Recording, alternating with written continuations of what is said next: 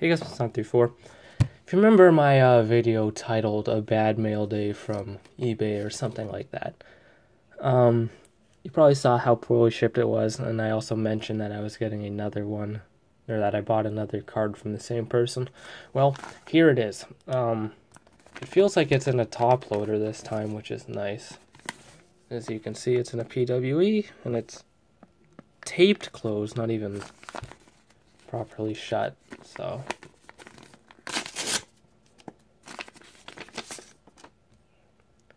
why is this shipped proper? Uh, uh, what is going on here?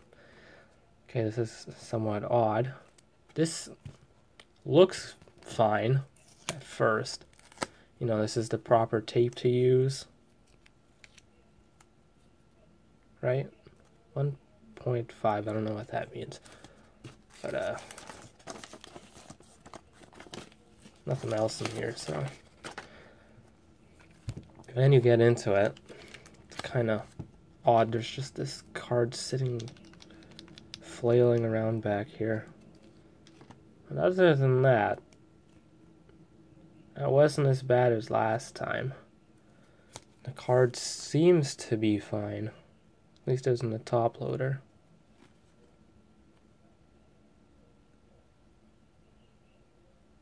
Looks fine to me.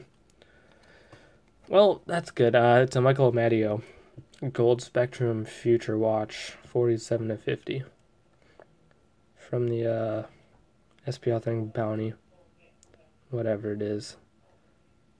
So, it was cheap, not a common card.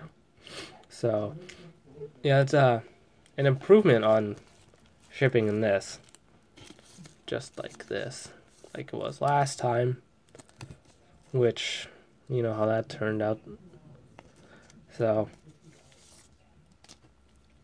um, yeah, I guess this was better than last time. Well, definitely is better than last time. But here's the two cards I got from that seller. This one's fine, this one's destroyed. So, that is it. Thanks for watching. Bye.